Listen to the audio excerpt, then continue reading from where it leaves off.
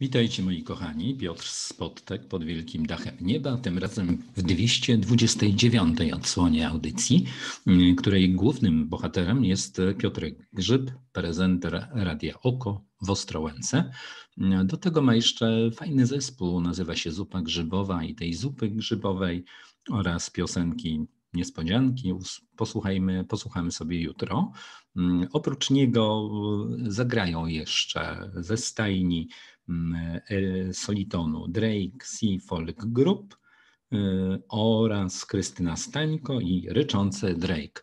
E, to będą, aha, jeszcze doktor Hasenbusch, Hasenbusch. Hackenbush.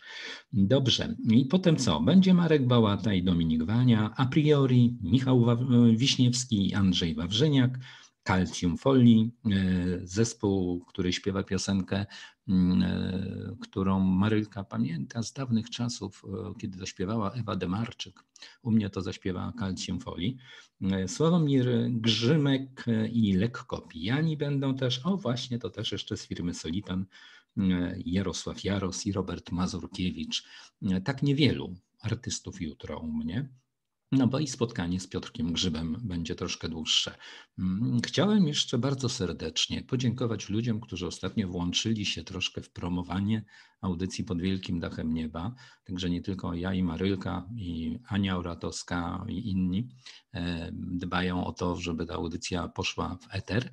Ale pojawiły, pojawili się dwaj panowie, Krzysiek Bokisz, e, który ma własny kanał, polecam, subskrybujcie, i Dawid Rogalski, mój przyjaciel, który też niedawno był w czterech ścianach wiersza u Marylki Duszki, e, przeczytany. Mieliście okazję go poznać.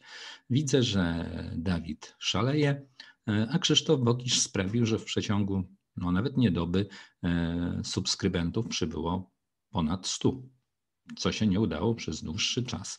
Cieszę się bardzo, bardzo Wam panowie dziękuję i Tobie Krzysztofie i Tobie Dawidzie.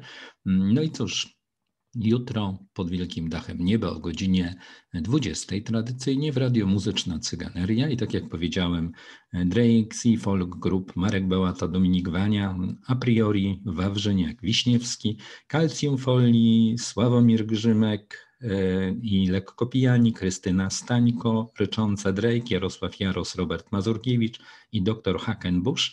Aha, zapomniałem powiedzieć, że w czterech ścianach wiersza Marylka Duszka będzie czytała wiersze Marka Wołyńskiego, mm, też fajnego poetę, mm, którego mieliśmy okazję, no już chyba, no już długo z nami jest, e, słuchając również audycji. Mam nadzieję, że nie tylko tych, w których jesteś, e, Marku, gościem, e, kiedy się ciebie czyta.